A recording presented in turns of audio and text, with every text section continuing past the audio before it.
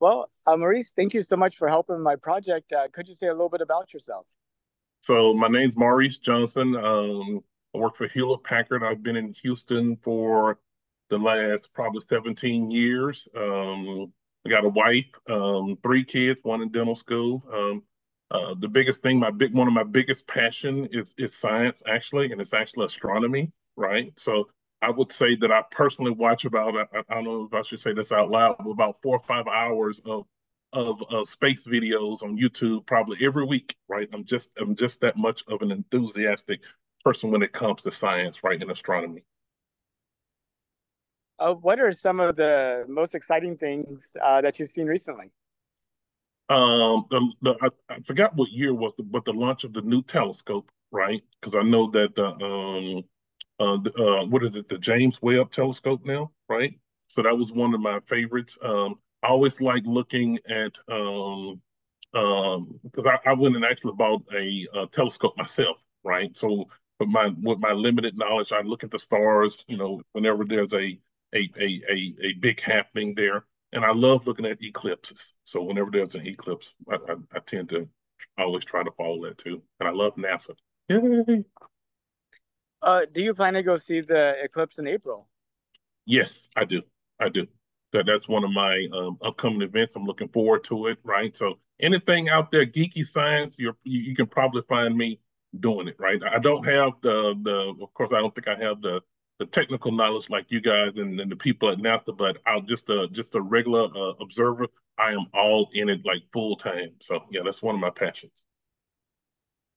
Uh, you know, some of the people I, I talk to are like, why are we going back to the moon and uh, spending money on this? Uh, I was wondering what your your thoughts would be on that. You know what? When when you actually asked me about doing the video, I was actually embarrassed that I didn't know that it it had been so long since since we've gone, right? And I was just amazed because you don't even think about it, right? With all the with all the scientific breakthroughs that are happening and all of the the new launches and stuff like that. I was like, oh my God, we haven't been in that long. So I'm actually excited about it, right? I think it's I think it's way overdue, right? If it was up to me, of course, I don't have the budget, but of course, I will send people all the time. So I'm I'm very excited about it, and I'm kind of glad that it's come to fruition. I know a lot of people out there are excited about it too, just like I am.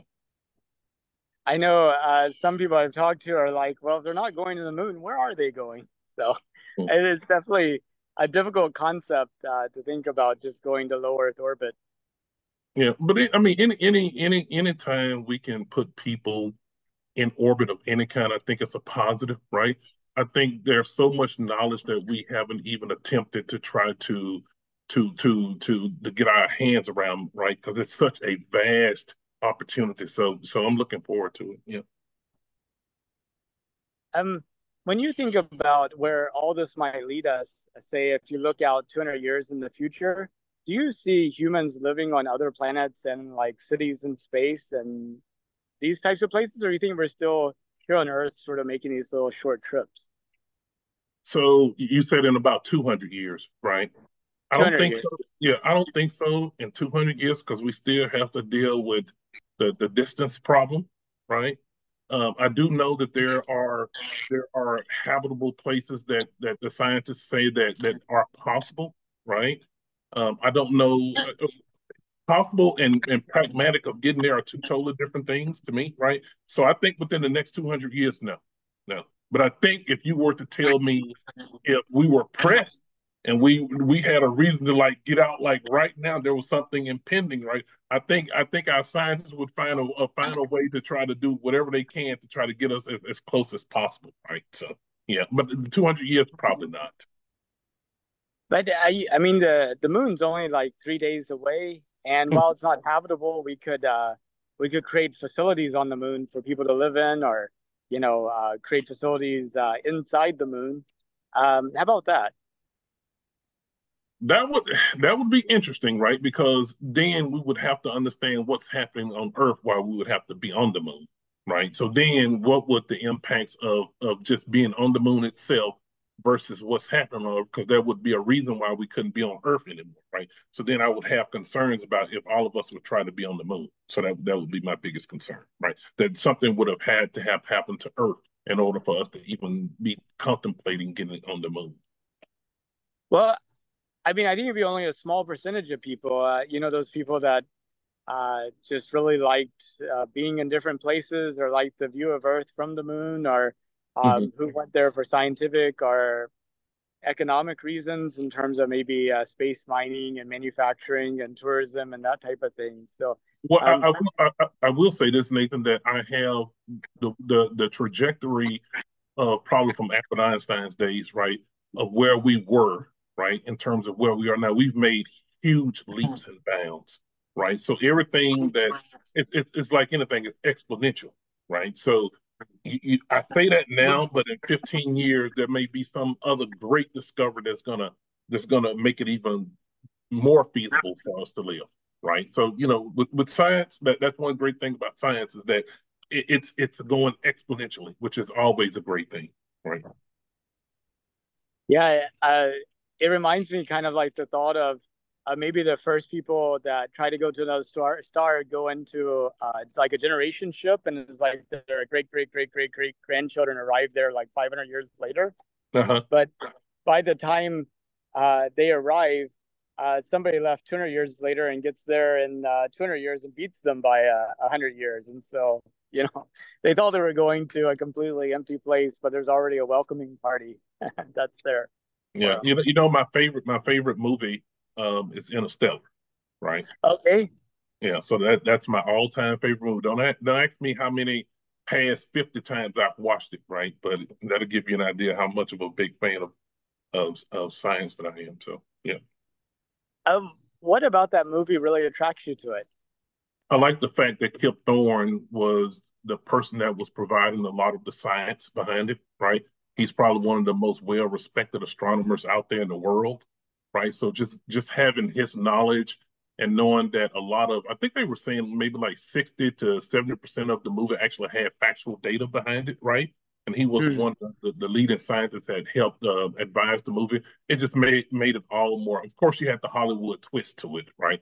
But just knowing that Kip Thorne was a part of it, that, that just made the movie even more credible and even more exciting for someone like me that that that isn't as versed as you guys are with with astronomy. So what do you think about like the the social aspect of that movie in the sense of um you know there it happens in a era where um nobody believes that we went to the moon and you know they think we should all go back to farming and and stuff like that uh, do you see that as being a risk uh, with the way society is going no because I, I think for me uh, the first like like you, when I was growing up, they said, "Hey, what's the one thing that you would need to find that there could be life on other planets?" Right? And it was like, "Well, we haven't found water, but we found water now, right?" And so it it just tells me that people will adjust to as the not. I, I don't think that something is going to spring up on us that's going to make us panic or whatever. But I think the more you introduce science to people, right?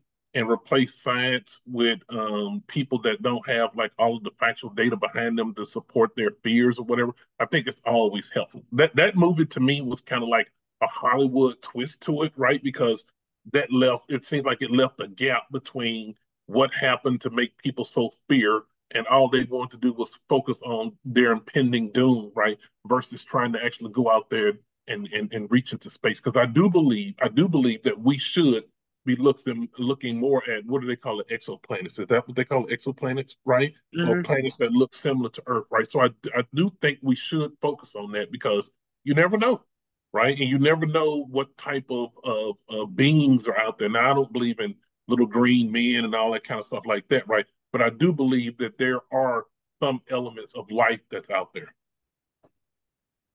Um, if you had the opportunity, would you take a trip to space?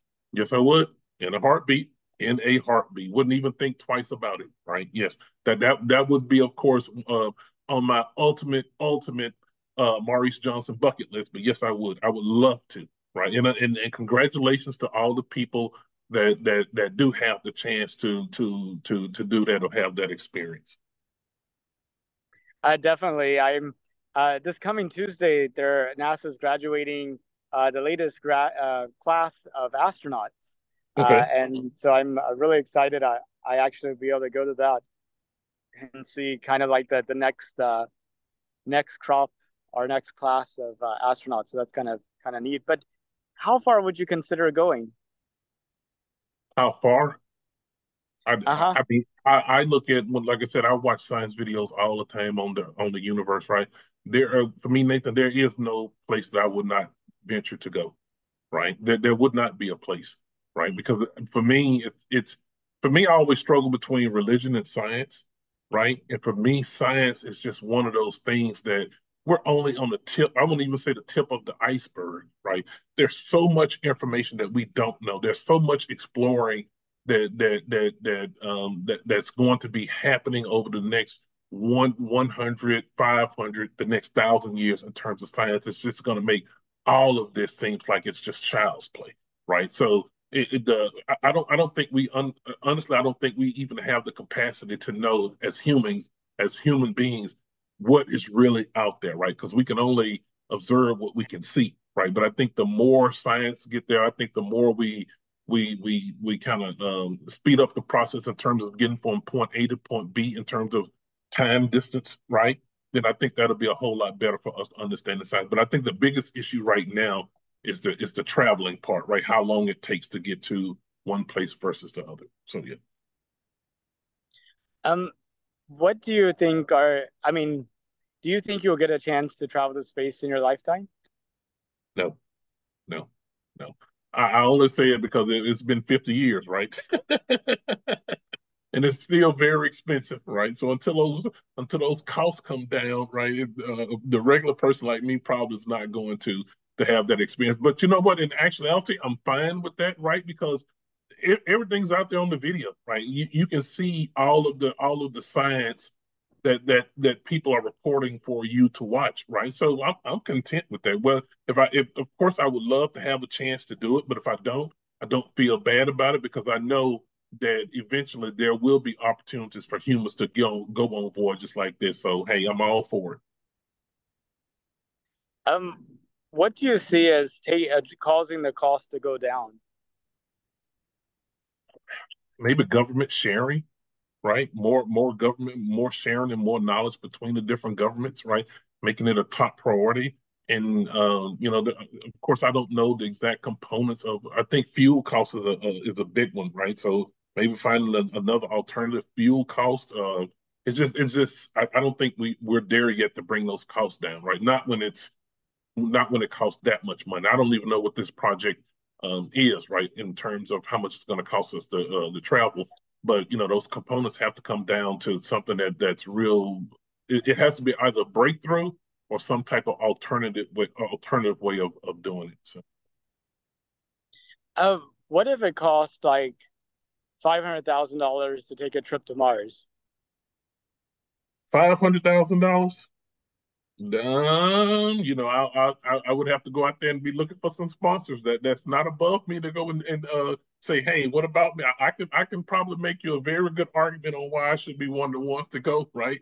So I have to go and find some kind of rich benefactor to to, to get me there. But five hundred thousand dollars is not reasonable, right? In terms of not not that I have five hundred thousand dollars, but I, I think I can go out there and solicit and get about five hundred thousand dollars from some from some people. So yeah. Yeah, I was at a, a space conference. I think it was 2016, mm-hmm. uh, and Elon Musk was talking about uh, maybe it was 2018 uh, about um, you know uh, colonizing Mars and about how he was thinking that that's about the the right price point you would need to get to because um, that's sort of like if a, um, you know the the average middle class family in the U.S., like liquidating everything, uh, could probably get close to that point. Um, uh, you know, if it was like higher than that, uh, you probably wouldn't be able to um, get many people that could afford to go. And uh, getting lower than that is um, ideal, but uh, you know, it becomes less and less practical as you know you get lower. So, uh, I, I, think for, I think for a lot of people, I think for a lot of people, right, it's out of sight, out of mind so they can't relate to the benefits of of science and NASA itself, right? So that that's that's an issue, right? But I think in terms of like, I mean, because I always go back to Albert Einstein again, right? I mean, just look at the the the breakthrough that he had, and now we have GPS positioning and and all that kind of stuff, and now we got cell phones and all that stuff, right? Just because of some of the work that he's done with, um, you know, like um, uh, special special relative and general relative, we wouldn't have had that stuff if it wasn't for science, right? So a lot of the things that we're benefiting now are from guys like you and from guys like scientists out there. So you know, the more the more we invest in science, it's going to eventually impact the everyday person and make our lives much better. Well, that's awesome. Well, uh, Maurice, that's pretty much all the questions I had for you. Uh, did you have any questions for me or anything else that you thought would be good uh, to kind of make part of his interview for people looking back on uh, what I think is going to be a historic decade? Yeah, just make sure you record record everything for us and, and send it back and let us watch it. So we'll be trying to watch on our end too, but you know, you'll probably be more in into the know than we are, right? So just keep us updated. We'll we'll be surely be happy. And thank you, thank you for um, giving me a time to uh, interview with you too. I really appreciate it. Well, Maurice, I hope you have a good rest of your day and a good weekend. Thank you, Nathan. You too. Okay. Bye-bye. Bye.